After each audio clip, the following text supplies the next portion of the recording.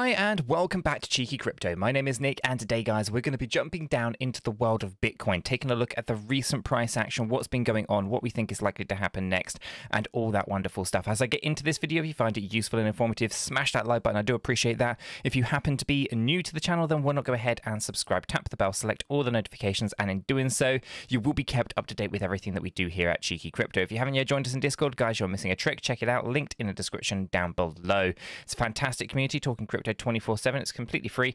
And as I said, it's the first place that we go to to notify you of everything that is going on in the crypto space. So why not check it out? Let's jump right down into this one though. Bitcoin paired up with USDT on the hourly chart and Binance is the data source.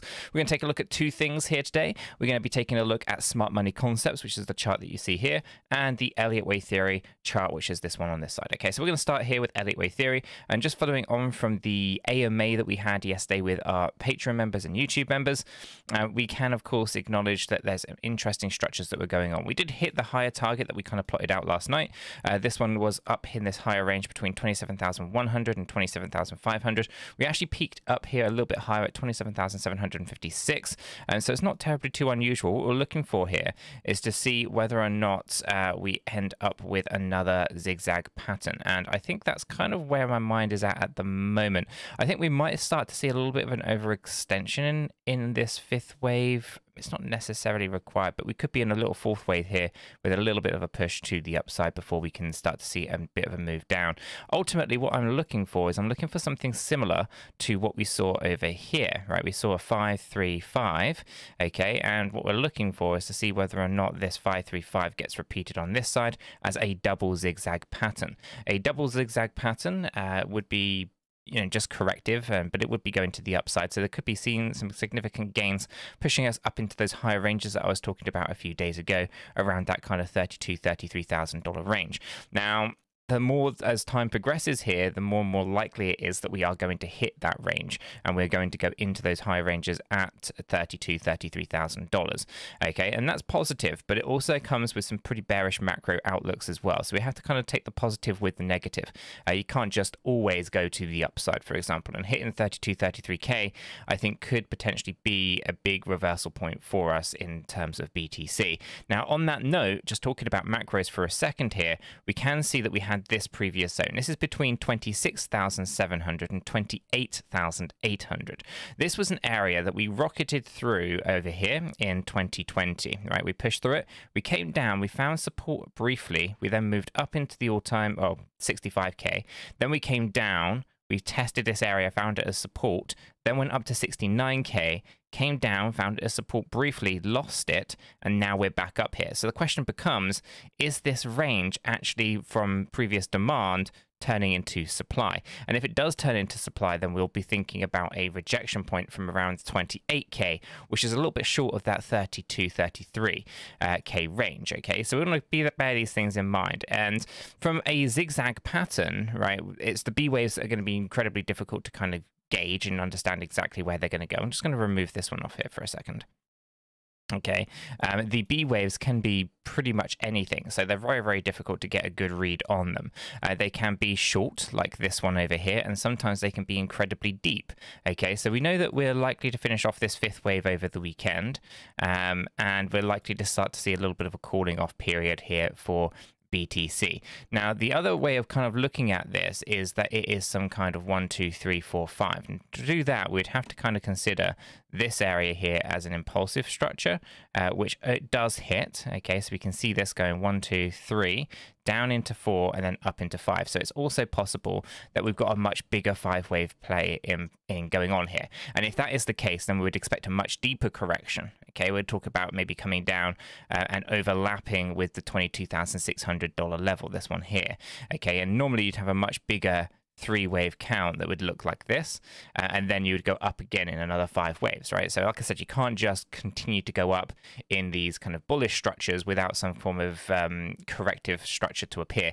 You have to have profits getting taken. Traders will be taking profits essentially.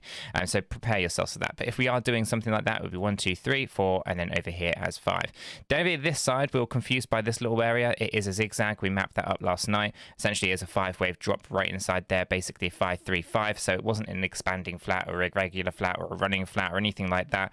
Um, that was me not really paying attention to what was going on just here. A little bit of an unusual C wave, but nonetheless, it is what it is. Um, and I should have caught that one earlier, so apologies on that. But you can see here we do have this potential idea that we're in a fifth, uh, a final fifth wave upwards, and uh, we could see this. Now, if we do have a zigzag pattern, then of course that changes everything, and what we're really doing here is an A, B, and then we go up into that zigzag to make it C. Okay, so we're keeping a close eye on whether or not we get those kind of structures, but for the most part, a lot of people will be wanting to look at this as a trend reversal. If that is the case, and we are now going to be talking about moving up in a significant way, and we're ending in a 53535, then we're going to have to pull into question whether or not we've got something bigger going on all the way over here as well. Um, ultimately, I think it's not as good as we want it to be, because uh, this could still be 335, corrective structure right up into this range. And as I've said many times before, it looks to me like all we're really doing is something to this effect like that. And I think there's actually a um, irregular flat going on in here as well, A, B, and C. You can kind of see it right from here. Uh, down here we have an A, B, and C structure up here. Then we come down in corrective B wave, and then we potentially have a 335 correction going up here. Or um, it could be a, a, really complex with a double zigzag at the end going slightly higher into that kind of 30k range, uh, possibly. But as I said, on our macro time frame here, this is an interesting range, 26 to 28k, that could be rejection for us. So we want to bear those things in mind. So Elliott wave theory is actually telling us that we're kind of coming towards an end of a move, but we'll see how the weekend goes, we can see a lot of various different things occurring. Usually you see sideways trading and stuff like that occurring over the weekends. Low volume as usual. Uh, so I'm not expecting terribly too much. Uh, the weekly close is going to be interesting. I'll probably talk about that a bit more tomorrow uh, as we kind of go into the end of the weekend and we'll talk about where we think the weekly close needs to be um, if we want to be bullish and if the bears want to take control where they would be looking to kind of get that weekly close position as well.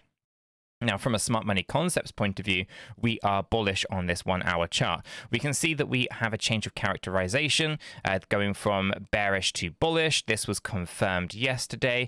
Uh, we can see that we have now a break of structure or a CTS moving to the upside. Basically, that just basically means that we are um, confirming that we're in an upward movement right now.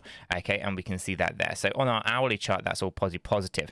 I am concerned about the level of potential manipulation that is occurring right in here. Uh, and the reason for that is we can see all of these little green areas. These are created from imbalances in the order books. These are also commonly known as fair value gaps.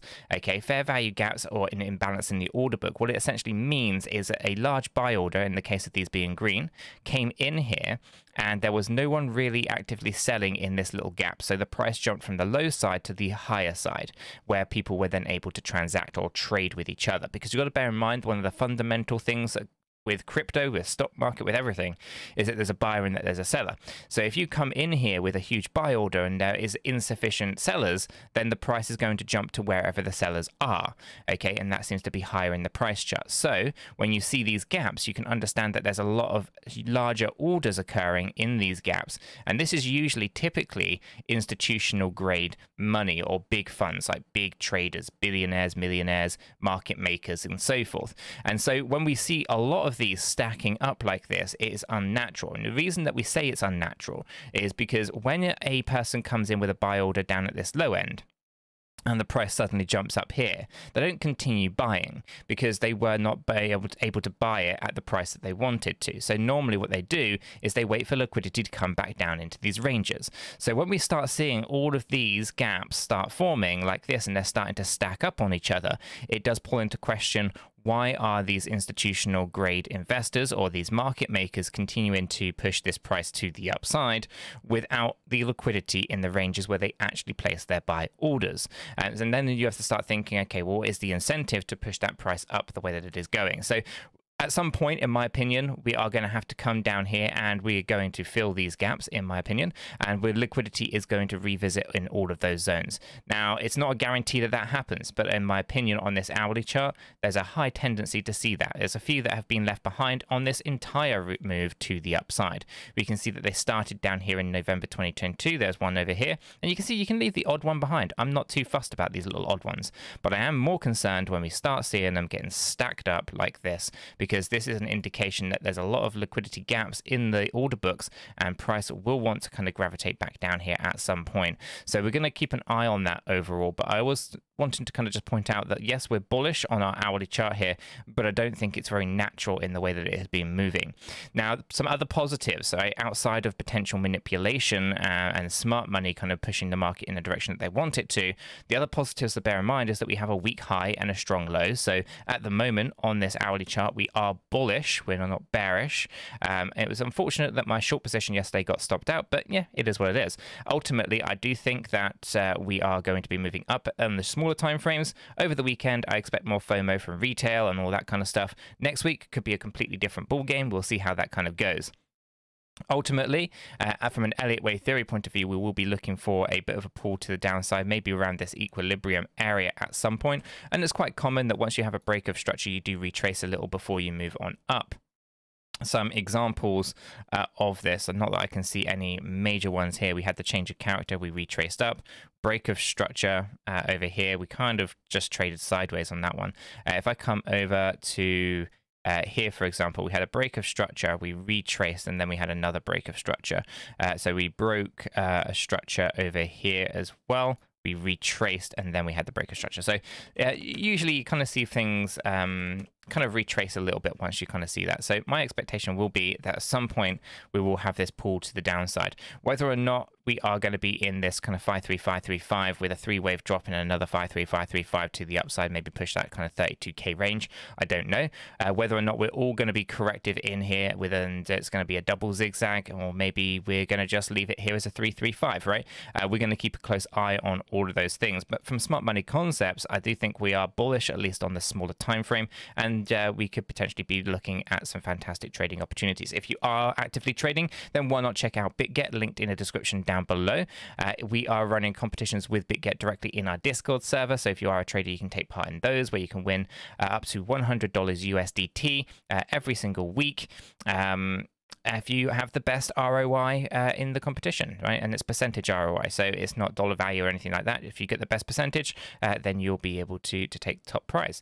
Um, and there's also some fantastic sign up offers with Bitget as well. Now, just to kind of crush some of the uh, nonsense that you hear in the space, we do not get. Um, commission for liquidations or anything like that.